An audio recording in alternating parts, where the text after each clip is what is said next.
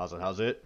And thank you for joining me for some more automotive shenanigans. Today on the docket we got a KO3 turbo rebuild. Now this particular KO3 was leaking and it came off of an AHU TDI. Now this particular KO3 is the triple K variant and you could tell because it's got that weird triangular flange that goes on nothing else. But the KO3 exists in one form or another in actually quite a few different cars, so hopefully this build will help you along your way. And without further ado, let's get going. So here's a quick list of all the things you're going to need for this rebuild, aside from obviously a rebuild kit. Uh, turbo gets pretty stuck. It goes under some pretty brutal thermal cycles, so you're definitely going to want a wacky hammer, you're going to want some PB blaster, and a torch of some kind. As for actually taking the thing apart, almost everything is a 10 millimeter, and you're definitely going to want something that is low profile and ratcheting. Also to get the turbine and the compressor themselves off, you're going to need an 8 millimeter as well as a 3 millimeter Allen key. You'll want a puller for the compressor side, a paint marker just to make sure you got everything going right, and some picks to take out the snap rings, as well as some Loctite and assembly lube putting it all back together.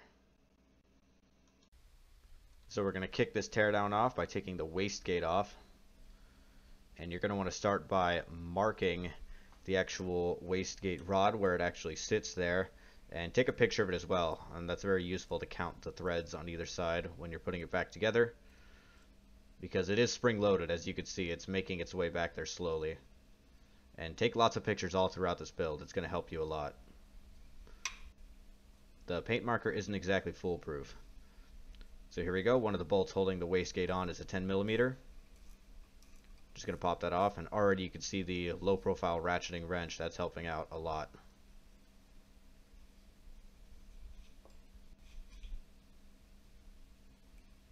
And the other side, that's the 3mm Allen.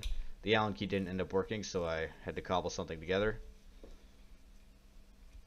And that worked just fine.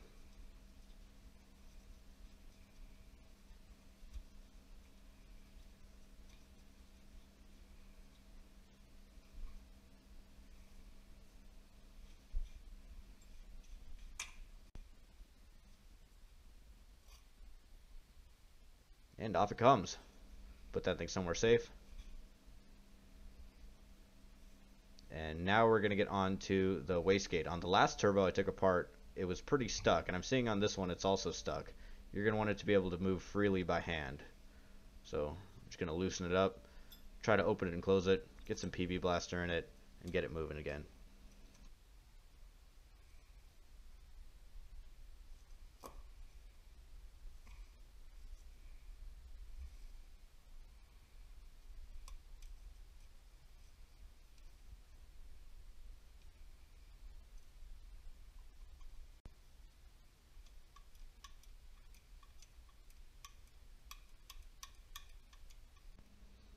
And now that the wastegate is moving freely, it's time to go on to the turbine housing. This is held on by four 10 millimeters. Once again, going at it with the ratcheting box wrench. But you might want to be careful with that because it's such a tight fit in there. Sometimes in backing the bolt out, you kind of trap yourself. So keep an eye out for that. I believe that happens on this bolt.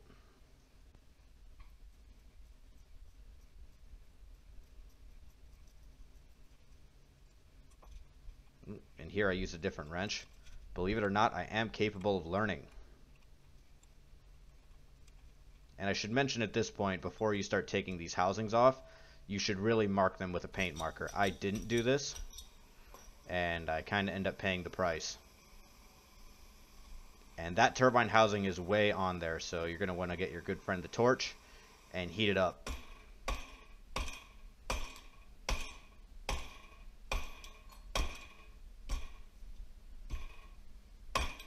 There we go. You can see it just popped off. That's where the wacky stick comes in handy.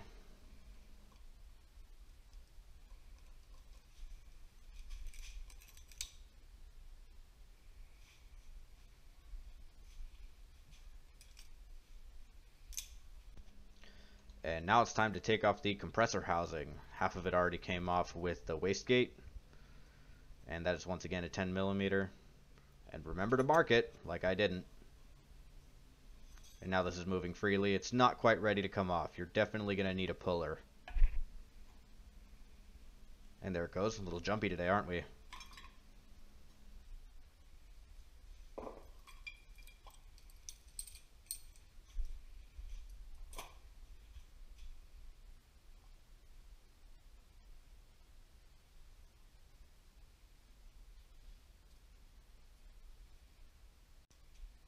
And now it's time to take off the compressor wheel. This is another thing that's very important that you mark because these are weighted and balanced. And I'm using a flat part on the turbine as well, just to make it that much easier to line up, just in case the paint marker goes away. And for good measure, I'm taking a picture as well. And like I said, these are 8 millimeters. If you remember nothing else from this video, remember that this 8 millimeter on the compressor is reverse thread. If you remember nothing else, remember that the 8 millimeter on the compressor is a reverse thread. I know it's not this way with all of the KO3s, but with this one it is. Just to mess with you. So keep that in mind. And this compressor is good and on there, so you're going to want to heat it up to take it off as well. And starting now, you can see along that back side of the towel, I'm working up a little stack up just to sort of match the exploded view I've been going off of. This will help with disassembly. Stay nice and organized. Up next is this secondary compressor housing plate. You can get on it with a pick or a razor blade. It's not super sensitive, so don't worry about it.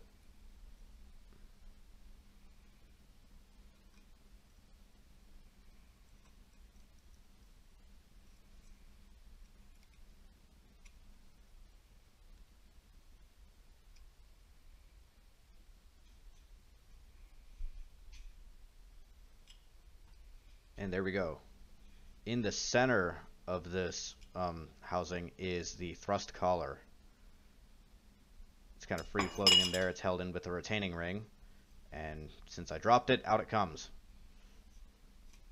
There we go. That's one of our wear parts. Keep that in order.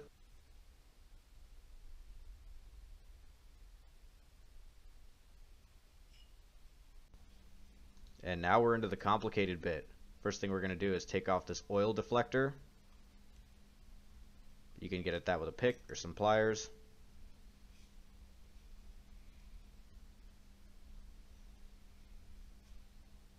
And up next is the thrust bearing. This is looking pretty dirty. I took apart another one of these KO3s and it wasn't that oily, so this might be the source of our leak. Something in here that has a up and down orientation. Make sure it's the right way. Now it's time to take off the finger sleeve. This is pretty tricky. It's it's really tight on there. So two picks is the best way to get at this.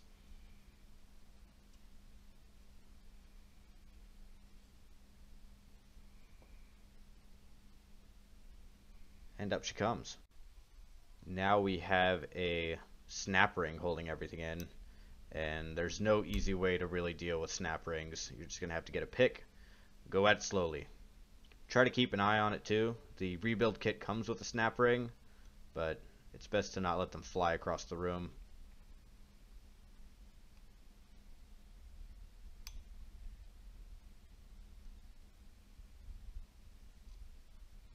And here I put my hand over it to keep just that from happening, and it would have.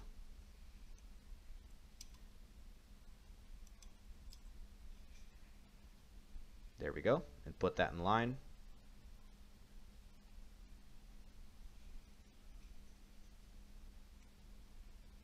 Up next is the journal bearing retainer slash um, oil deflector. This isn't really on my KO3 diagram, so just kind of winging it. That's what it looks like it does.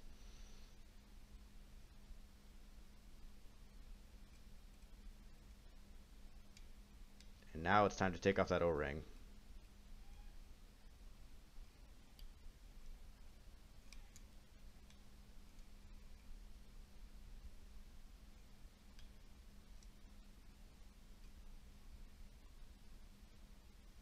We go. It's a little bit slimy.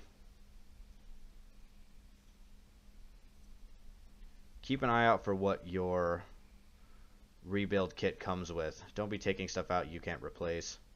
And now it's time for the journal bearing. You can just tap that out.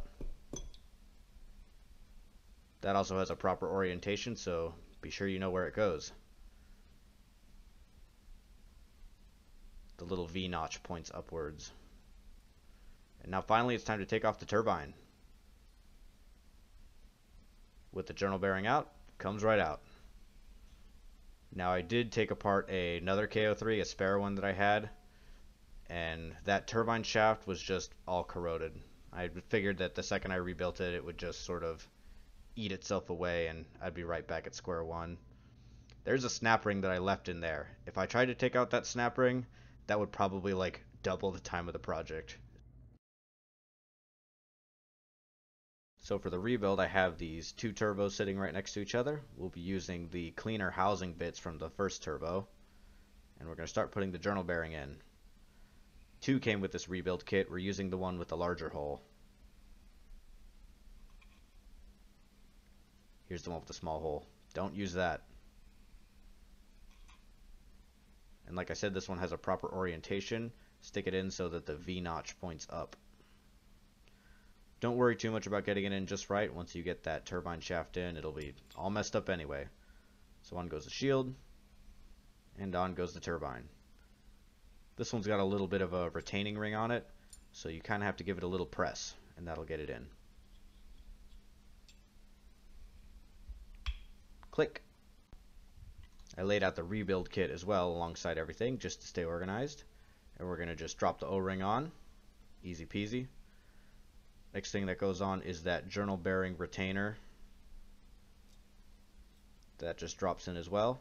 Want to make sure it's nice and flush because next comes the snap ring. And if it's not perfectly up against the journal bearing, uh, the snap ring probably won't go in.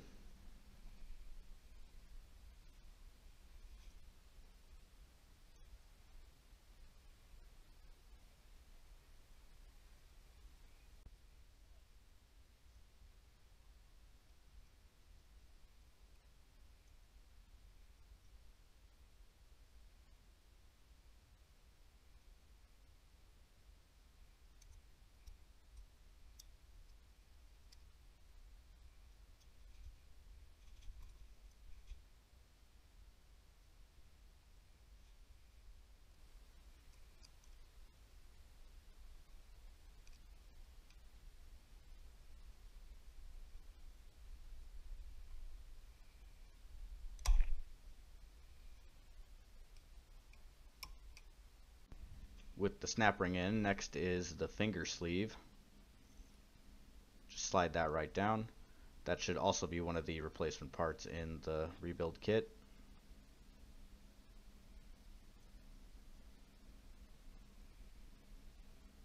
And next is the thrust bearing. Remember that thrust bearing does have an orientation. The smooth side points up. And after that we have the oil deflector that locks in only one way. Something I wanted to show here is the thrust collar for the first turbo I took apart. And if you measure its shoulder, it's 33 thousandths thick. And the much nicer turbo that I just took apart, that's 40 thousandths. And this one didn't have any chatter in it, but the other one did. There was actually quite a lot of shaft play. And here's the one out of the rebuild kit. 40 thousandths even.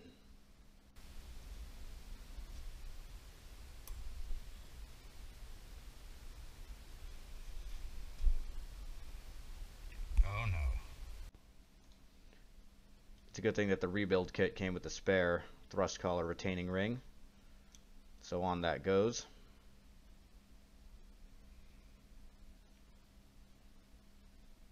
Just needs a little bit of smushing. It didn't go quite so easily into the compressor housing.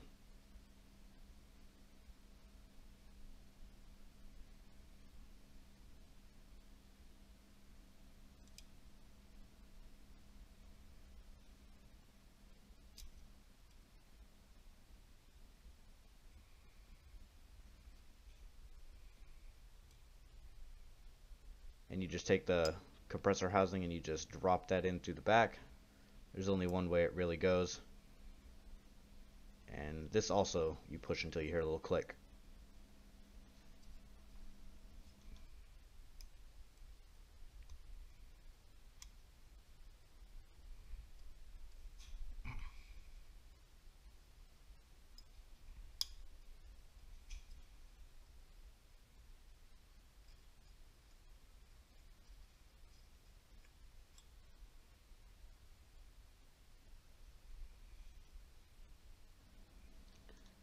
Next is the compressor wheel. Just drop that down on the shaft. And now I'm taking a look down at the turbine for the paint marker line to try to get lined up with the compressor. And it won't drop down on the shaft, but all you need is a little bit of heat, and then it'll literally drop down. You'll see.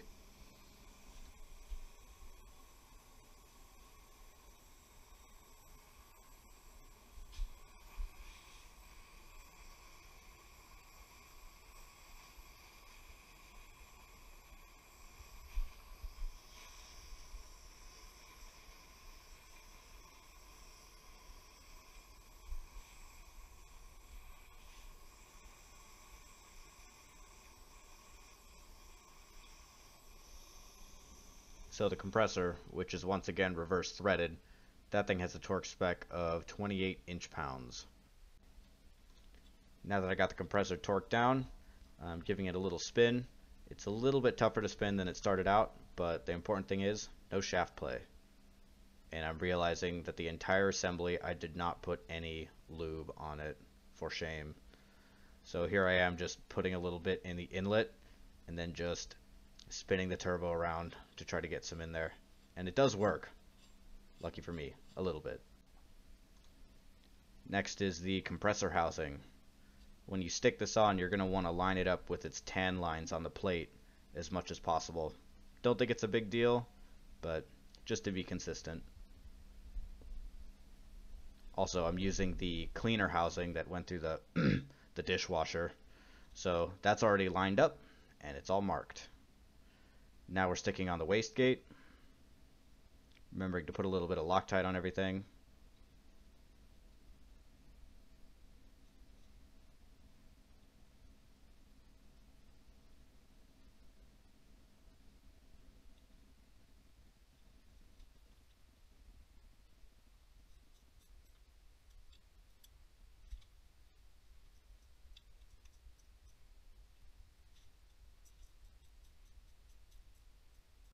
I've heard conflicting things about the torque spec for this compressor, but I'm doing 15 foot-pounds in an X pattern.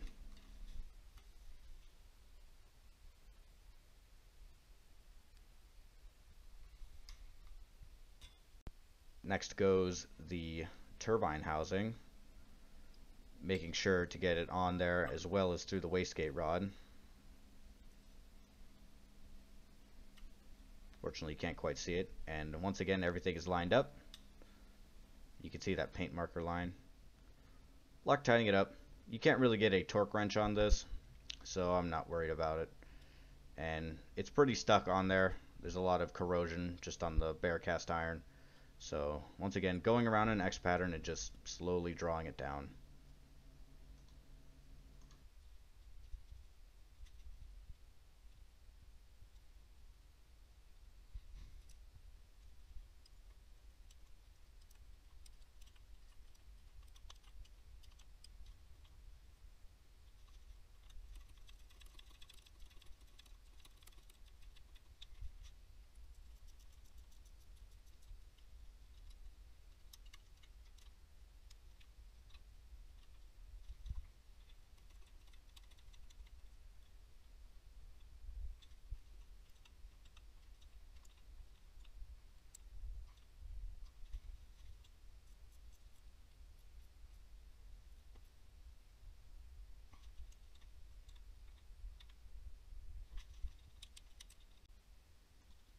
Lastly, we're getting that wastegate actuator rod ready. Just drawing it down to the point where we see in the pictures we took for reference, as well as the paint marks. It does have a little bit of spring force to it, so don't be too worried about it. Getting another wrench to tighten it down on both sides. Not too worried about Loctite because this has got its own retainer. And it's the last piece of the puzzle. There's the retainer. Just push it on until you hear a click.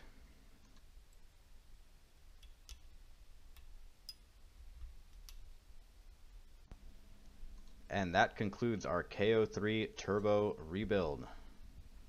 There we go. It's nice and tight, messed around with the shaft. No play. Hopefully it won't be leaking. And I highly recommend that if you do this for yourself and you have a GoPro, to put it on. Um, I went through and looked at the footage myself. It was invaluable. Anyway, I hope this video was helpful to you. Thank you, and have a good one.